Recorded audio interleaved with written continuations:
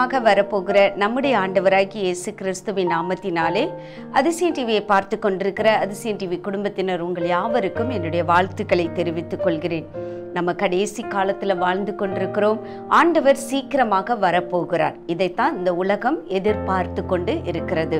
So உலகத்தில் நடக்கிற ஒவ்வொரு விஷயங்களும் கூட இன்னைக்கு ஆண்டவர் வருகிறார் என்பதை ரொம்ப அப்பட்டமாக ரொம்ப தெள்ள தெளிவாக மறுத்து பேச முடியாத அளவுக்கு அவைகள் ஒவ்வொன்றும் நமக்கு திட்டமும் தெளிவுமாக உணர்த்தி கொண்டு வருகிறது. இன்னைக்கு உலகத்தில் நடக்கிற எல்லாத்தையும் நீங்கள் கவனிச்சு பாருங்களேன். எல்லாமே பைபிளில் எழுதப்பட்டிருக்கிறது. பைபிளில் எழுதப்பட்டு அவைகள் ஒவ்வொன்றாக நிறைவேறி கொண்டு வருகிறது. எல்லாம் நிறைவேறி முடிக்கிற ஒரு காலகட்டத்தில் தான் நம்ம வாழ்ந்து கொண்டிருக்கிறோம். ஆகவே இந்த கடைசி நாட்களில் ஆண்டவர் நம்மை ஆயத்தப்படுத்தும்படிக்கு அவர் ஆவிக்குரிய மண்டலத்தில் சில விசேஷித்த காரியங்களை அவர் செய்து கொண்டு வருகிறார். குறிப்பாக சொல்லணும் அப்படின்னா யோவில் ரெண்டு இருபத்தெட்டு இருபத்தி ஒன்பது வசனங்களில் நீங்கள் பார்த்தீர்கள் என்றால் கடைசி நாட்களில் தேவனாகிய கர்த்த கர்த்தர் ஒரு விசேஷித்த அபிஷேகத்தை இந்த சபையின் மீது அல்லது கத்தருடைய பிள்ளைகள் மீது அவர் ஊற்றி கொண்டு வருகிறார் என்று வசனம் சொல்லுகிறது. அது இன்னும் கொஞ்சம் நம்ம நல்ல தெளிவாக அந்த வசனத்தை படிப்போம் என்றால் அந்த வசனம் சொல்லுகிறது யோவேல் ரெண்டாவது அதிகாரம் இருபத்தெட்டு இருபத்தி ஒன்பது வசனத்தை அந்நாட்களுக்கு பின்பு மாம்சமான யாவர் மேலும் என் ஆவியை ஊற்றுவேன் அப்பொழுது உங்கள் குமாரரும் குமாரத்திகளும் என்று ஆரம்பிக்கிறது. அப்ப அங்க பாத்தீங்கன்னா மாம்சமான யாவர் மேலும். அப்ப ஆண்டவர் இந்த உலகத்தில் வாழ்ந்து கொண்டிருக்கிற கர்த்தருடைய பிள்ளைகள் எல்லாருமே அவருடைய ரூபத்தின்படியும் சாயலின்படியும் சிருஷ்டிக்கப்பட்டவர்கள் என்று வசனம் நமக்கு சொல்லுகிறது. மனிதனை அவர் தன்னுடைய ரூபத்தின்படியும் சாயலின்படியும் படைத்திருக்கிறார். ஆகவே அவர் சொல்லுகிறார் எல்லார் மேலேயும் ஒரு இரக்கம் வைத்து எல்லார் மேலேயும் ஒரு தயவு வைத்து கர்த்தர் சொல்லுகிறார் மாம்சமான யாவர் மேலும் என் ஆவியை ஊற்றுவேன். இன்றைக்கு அந்த வார்த்தையானது உலகத்தின் பல பகுதிகளிலே நடந்து கொண்டு வருகிறது. வாலிபர்கள் மேலே சின்ன பிள்ளைகள் மேலே முதியவர்கள் மேலே ஊழியக்காரி ஊழியக்காரர்கள் மேலே இவர்கள் எல்லாரும் மேலேயும் பச்சபாதம் இல்லாமல் கர்த்தர் தம்முடைய ஆவியை ஊற்றி கொண்டு வருகிறார். இன்றைக்கு நம்ம செய்தியினுடைய தலைப்பு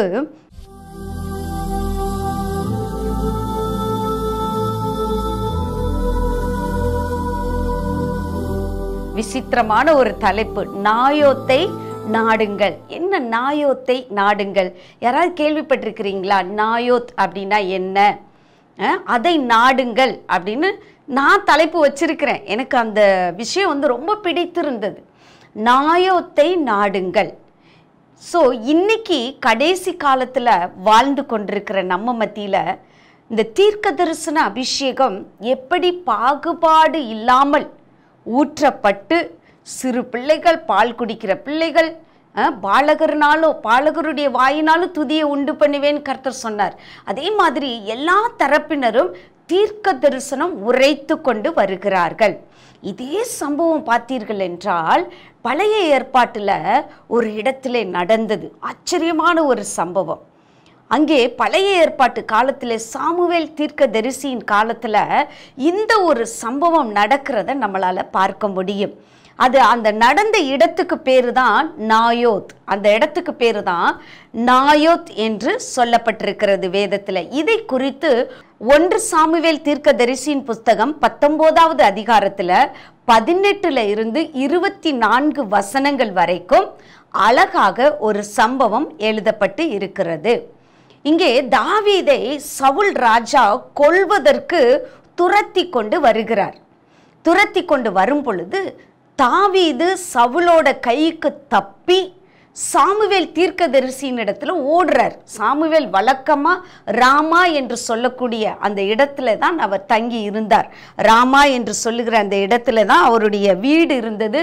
அங்கே தான் தாவீது ஓடுகிறார். ஓடி போய் நடந்த சம்பவங்கள் எல்லாவற்றையும் தீர்க்கதரிசி சாமுவேலுக்கு அறிவிக்கிறார். சாமுவேல் தீர்க்கதரிசி என்ன செய்கிறார் என்றால் தாவீதை அழைத்து கொண்டு ஒரு இடத்திற்கு செல்லுகிறார். அந்த இடத்தோட பேரு தான் நாயோத் என்று எழுதப்பட்டிருக்கிறது. இதை குறித்து ஒன்று சாமுவேல் தீர்க்கதரிசியின் புஸ்தகம் பத்தொன்பதாவது அதிகாரத்தில் பத்தொன்பதாவது வசனம் இப்படி சொல்லுகிறது. தாவீது ராமாவுக்கு அடுத்த நாயோத்திலே இருக்கிறான் என்று சவுலுக்கு அறிவிக்கப்பட்டது.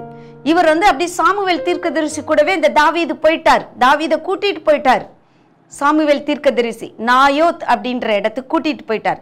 இந்த இடத்தோட அர்த்தம் என்ன? இந்த நாயோத் அப்படிங்கிற இடத்தோட பேரினுடைய அர்த்தம் என்னவென்று பார்த்தால் ஹெபிடேஷன் அல்லது ட்வெல்லிங்ஸ் அப்படின்னு வேதத்தில் அதுக்கு அர்த்தம் சொல்லப்பட்டிருக்கிறது. டிரான்ஸ்லேஷனில் நம்ம பார்க்கும் பொழுது ஹேபிடேஷன் அல்லது டுவெல்லிங்ஸ் அப்படின்னு சொல்லப்பட்டிருக்கிறது. அப்படின்னா அந்த குடியிருப்பு அதாவது குடியிருக்கிற ஒரு இடத்தை குறிக்கிற ஒரு அர்த்தமுள்ள இடம் தான் அந்த இடம் குடியிருக்கிற ஒரு இடம். ஸோ அந்த இடத்துக்கு தாவீதை அழைத்து கொண்டு சாமுவேல் தீர்க்கதரிசி போறாரு. இந்த செய்தி சவுல் ராஜாவுக்கு அறிவிக்கப்பட்டு விட்டது. இப்போ சவுல் ராஜா என்ன செய்கிறார் என்றால் தன்னுடைய சேவகரில் பலரை அழைத்து அவர் என்ன செய்கிறார்? தாவீதை போய் பிடித்து கொண்டு வாருங்கள் என்று சொல்லி இருபதாவது வசனத்துல அனுப்புறத நம்ம பார்க்கிறோம். நான் இருபதாவது வசனத்தை வாசிக்கிறேன். அப்பொழுது சவுல் தாவீதை கொண்டு வர சேவகரை அனுப்பினான். சேவகரை அனுப்பும் பொழுது இந்த சேவகர்கள் நாயோத் அப்படிங்கிற அந்த இடத்துக்கு போறாங்க.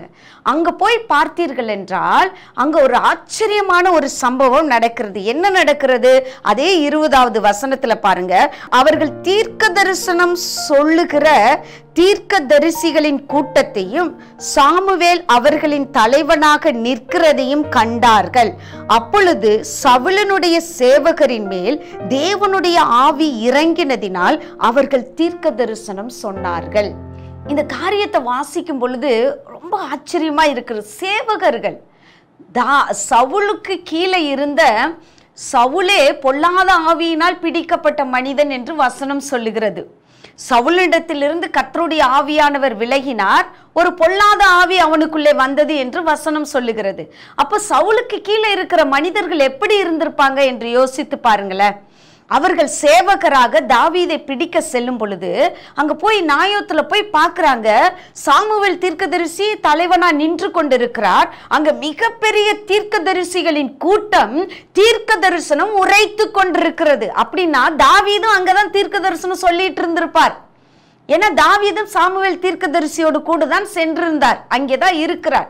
எல்லாரும் தீர்க்க தரிசனம் ஆவியினாலே நிரம்பி தீர்க்க தரிசன ஆவியினால் நிரப்பப்பட்டு கர்த்தருடைய வார்த்தைகளை தீர்க்க தரிசனமாக உரைத்து கொண்டிருக்கிறார்கள். இப்ப இந்த செய்தி திரும்ப சவுல் ராஜாவுக்கு போகிறது. உடனே சவுல் இது அறிவிக்கப்பட்ட உடனே திரும்பவும் தன்னுடைய சேவகரில் சிலரை அனுப்பி தாவீதை அரஸ்ட் பண்ணி கொண்டு வாங்க அப்படின்னு சொல்லி அனுப்புறாரு. அனுப்பும் பொழுது இந்த சேவர்கள் திரும்பவும் அந்த நாயோத் என்கிற இடத்துக்கு போறாங்க. அங்க தீர்க்கதரிசிகளின் கூட்டம் தீர்க்க தரிசனம் உரைத்து கொண்டிருக்கிறது. சாமுவேல் தீர்க்கதரிசி அங்கே வந்து தீர்க்க தரிசனம் உரைத்து கொண்டிருக்கிறார். தாவீதும் அங்கே தீர்க்க தரிசனம் உரைத்து கொண்டிருக்கிறார். இதை போய் பார்க்க போனவங்க மேல செகண்ட் டைம் போனவங்க மேலேயும் பாருங்க கர்த்தருடைய ஆவியானவர் இறங்கினார். இறங்கின உடனே அவனு தீர்க்க தரிசனம் உரைக்க ஆரம்பித்து விட்டார்கள். அங்கே வசனம் சொல்லுகிறது. இருபத்தி ஓராவது வசனம் வசனத்தை வாசிக்கிறேன் கெணுக இது சவுலுக்கு அறிவிக்கப்பட்ட போது அவன் வேறே சேவகரை அனுப்பினான்.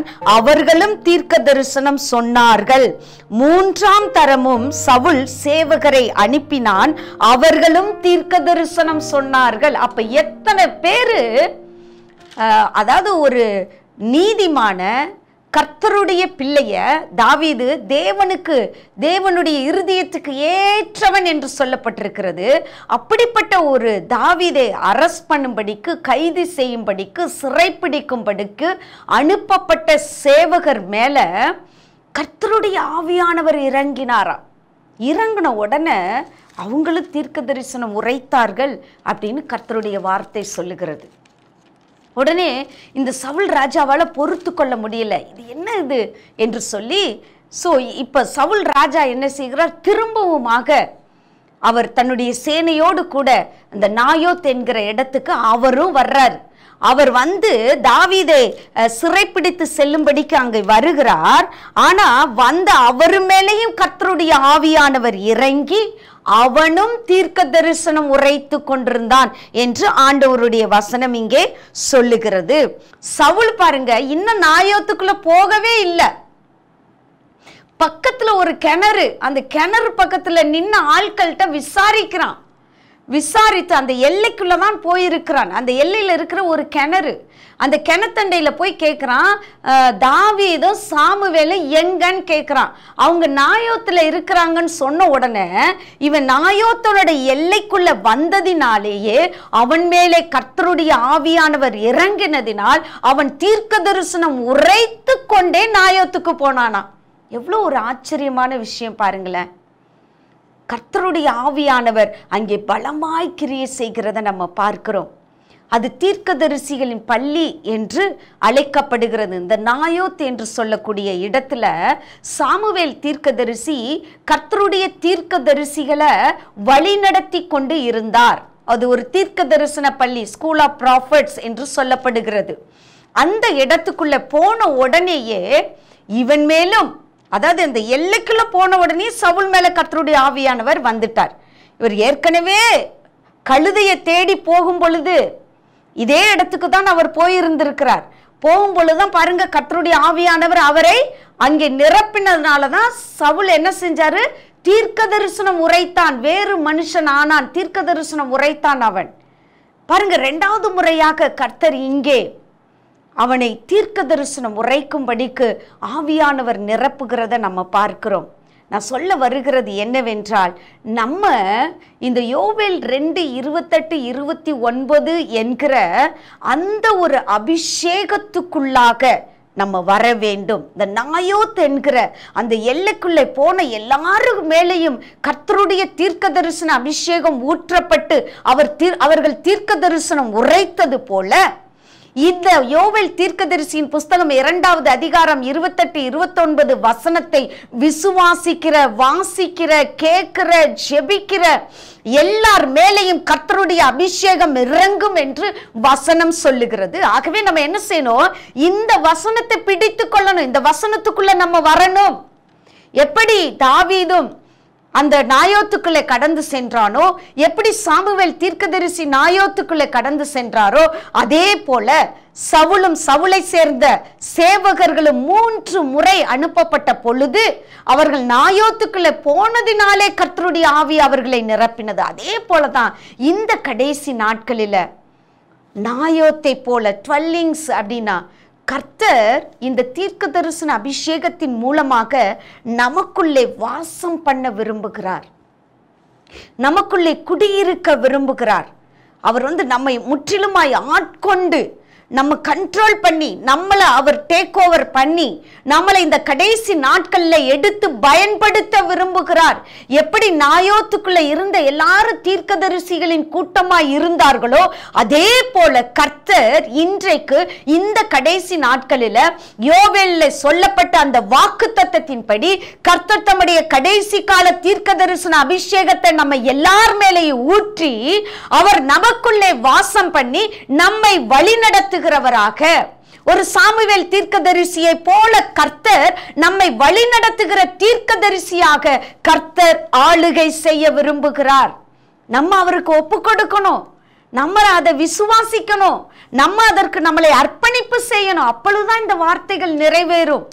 எப்படி சாமுவேல் தீர்க்கதரிசி அந்த இருந்த இடத்துல தங்களை ஒப்பு கொடுத்து யாரெல்லாம் அங்கே வந்தார்களோ எல்லார் மேலேயும் ஆவியானவர் இறங்கினது போல ஆண்டவர் இன்றைக்கு நம்முடைய இந்த ஆண்டவராகிய இயேசு கிறிஸ்துவின் கடைசி கால அபிஷேகத்தை பெற்றுக்கொள்வதற்கு நம்மளை நம்மளே அர்ப்பணிக்கிறவர்களாக இருக்க வேண்டும். சாமுவேலை காட்டிலும் பெரிய தீர்க்கதரிசி ஆண்டவராகிய இயேசு கிறிஸ்து. யோவானுடைய புஸ்தகம் நான்காவது அதிகாரத்தில் ஒரு சமாரிய ஸ்திரீயை கர்த்தர் பார்த்து பேசுகிறார்.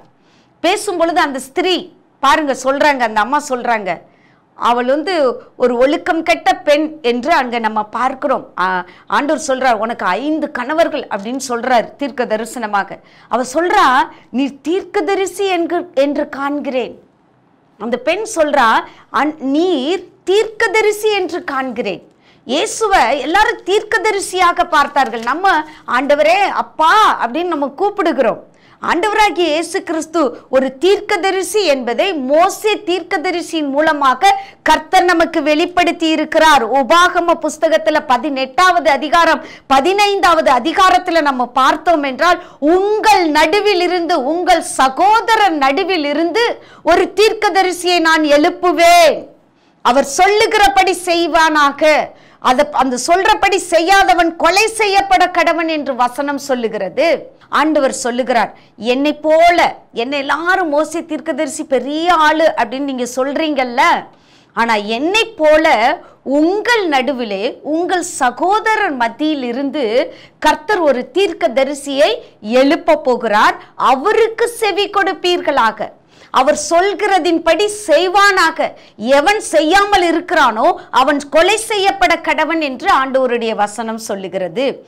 அதே வசனம்தான் புதிய ஏற்பாட்டு காலத்திலே நிறைவேறுகிறத நம்ம பார்க்கிறோம். அப்போஸ்தலருடைய புஸ்தகம் மூன்றாவது அதிகாரம் இருபத்தி இரண்டாவது வசனம் இருபத்தி மூன்றாவது வசனம் சொல்லுகிறது. அவர் தீர்க்கதரிசி. இயேசு தீர்க்கதரிசி. அதே போல ஏழாவது அதிகாரம் அப்போஸ்தலர் ஏழாவது அதிகாரம் முப்பத்தி ஏழாவது வசனம் சொல்லுகிறது. இயேசு தீர்க்கதரிசி என்று வசனம் சொல்லுகிறது. அவர் தீர்க்க தரிசி ஆண்டவருடைய வார்த்தை அப்படியாக சொல்லுகிறது. அதே போல லூக்காவுடைய புஸ்தக லூக்கா எழுதின அந்த சுவிசேஷ புஸ்தகத்துல ஏழாவது அதிகாரம் பதினாறாவது வசனம் சொல்லுகிறது. அவர் மகா தீர்க்க மகா பெரிய தீர்க்க தரிசி மகா தீர்க்க தரிசி என்று வசனம் சொல்லுகிறது. அப்போ ஆண்டவராகிய இயேசு கிறிஸ்து நம்முடைய தீர்க்கதரிசியா இருக்கிறார் மோசையை காட்டிலும் பெரியவர்.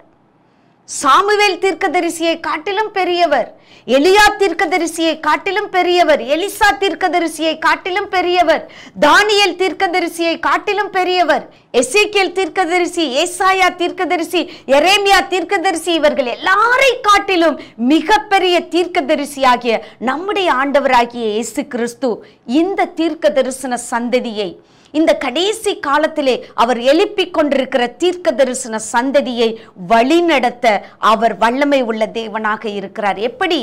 அந்த சாமுவேல் தீர்க்கதரிசி ஒரு தீர்க்கதரிசியின் கூட்டத்தை நாயோத் என்கிற இடத்திலிருந்து வழி நடத்தினாரோ? அதே போல இன்றைக்கு இந்த கடைசி நாளில் இயேசு கிறிஸ்து மிகப்பெரிய ஒரு தீர்க்கதரிசியாக மகா பெரிய தீர்க்கதரிசியாக நம்மளை தீர்க்கதரிசிகளின் கூட்டமாகிய நம்மளை அவர் வழி நடத்த அவர் சித்தமுள்ளவராய் இருக்கிறார் இன்னைக்கு அந்த சித்தத்துக்கு நம்மளை ஒப்பு கொடுக்கணும் ஆண்டவர் நம்மளை வழிநடத்த போகிறார். மற்றவர்கள் நம்மளை வழிநடத்தணும் என்கிற அவசியம் இல்லை ஏசு கிறிஸ்துவே நம்மளை வழிநடத்துவார். இந்த தீர்க்க தரிசன அபிஷேகத்தை கொடுக்கிறவர் அவர்தான்.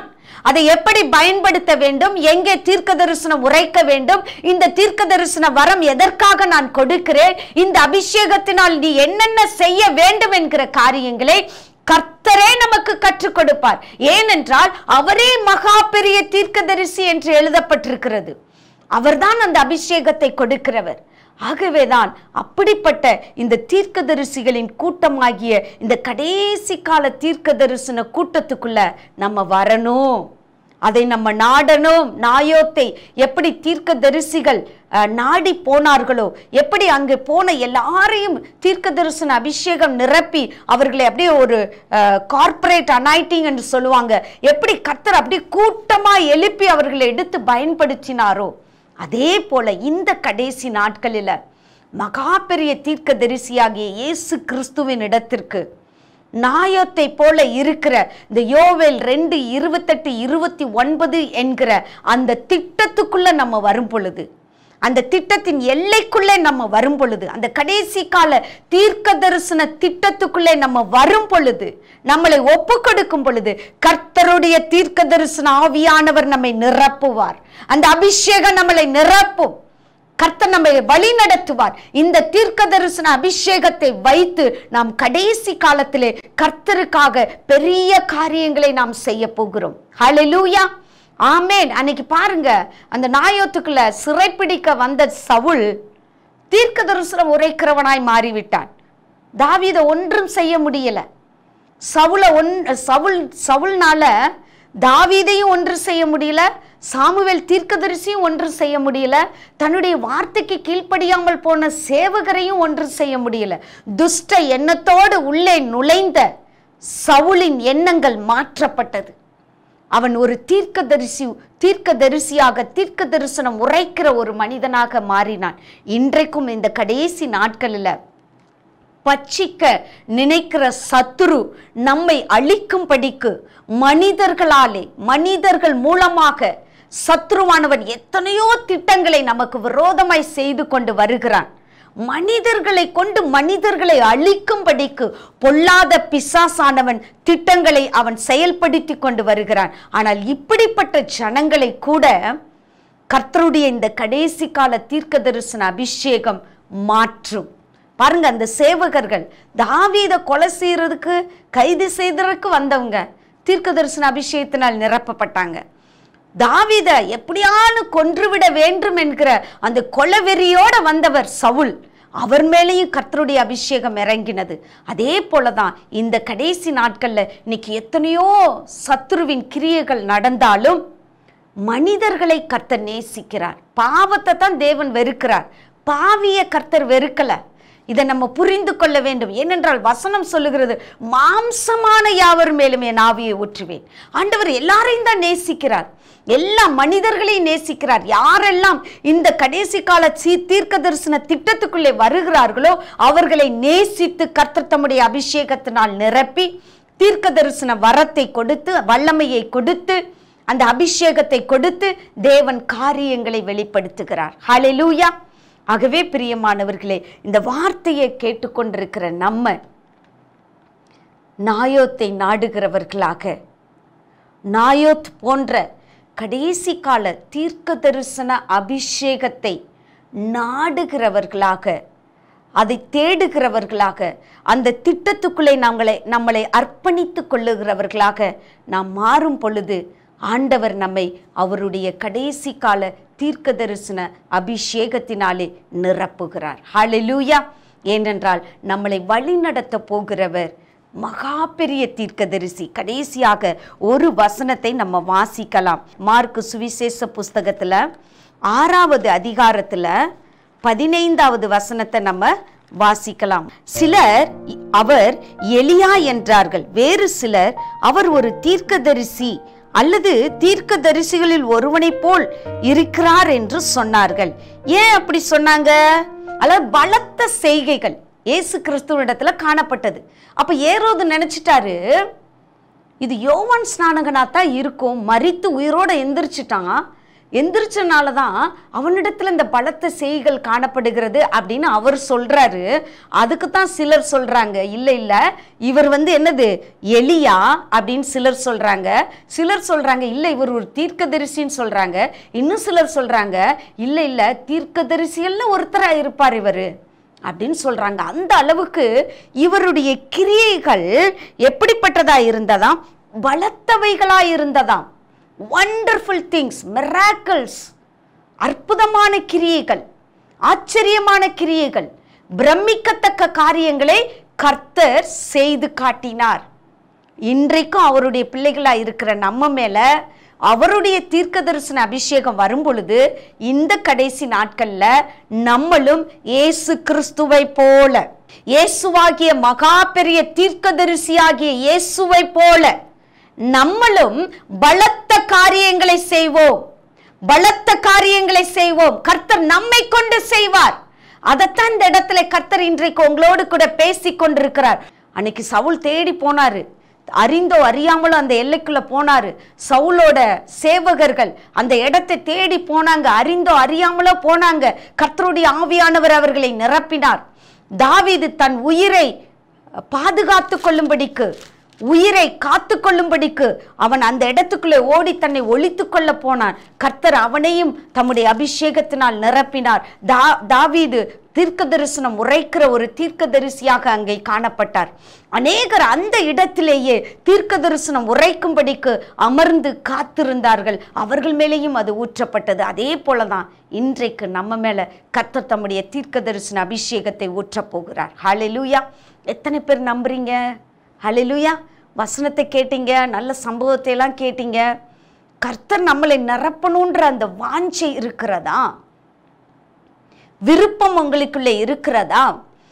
கடைசி காலத்தில் தேவன் வைத்திருக்கிற அந்த திட்டத்தின் எல்லைக்குள்ள வருவதற்கு உங்களுக்கு விருப்பம் இருக்கிறதா?